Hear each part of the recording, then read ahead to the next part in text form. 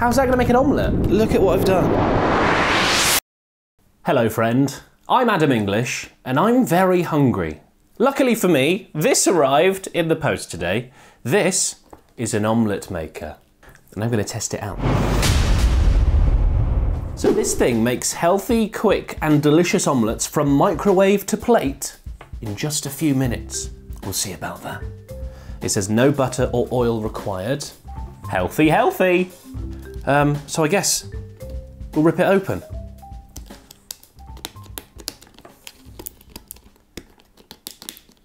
Oh, these bloody sticky tabs. That did it. What is, what is this? Look at it. It's like a weird semicircle. What? How's that going to make an omelette? Let's do the smell test. Oh, it smells like Gordon Ramsay's tears. What do you think, mate? Now, I, I, I don't have a lot of faith in this. I guess the idea is to pour the eggs in one side and then sort of close it up and pop it in the microwave. I don't know. Let's have a go. Let's do a cheese omelette, shall we? I've got some milk, some lovely eggs. I've got some cheese. I've got a bowl and a whisk for mixy mixy. And of course, I have my, I don't even know what the brand is of this. Jo Joey, jo Joy, Joy. I have my Joy silicone microwavable omelette maker. Egg time. I'm really good at eggs. I can do it one-handed. Watch. Hey. One egg. Two egg. Oh, for sake.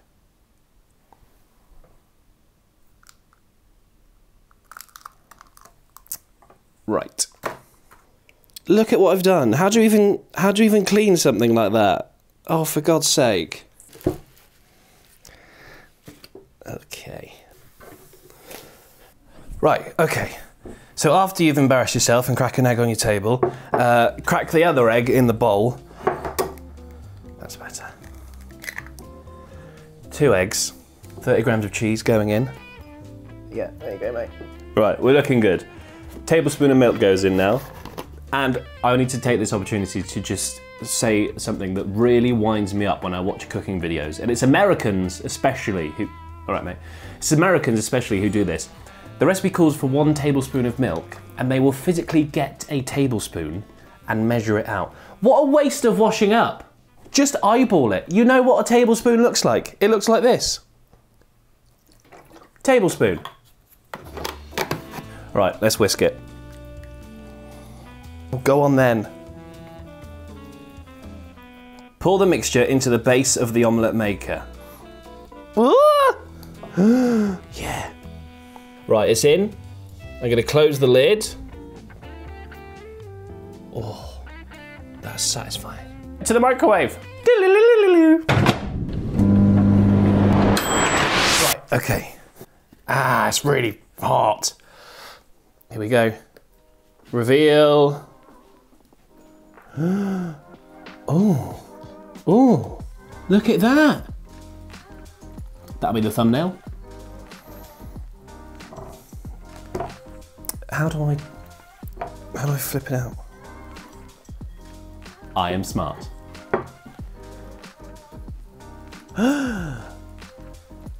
That's an omelette. I mean, it won't win any awards for presentation, but that doesn't look too bad. All right, here we go.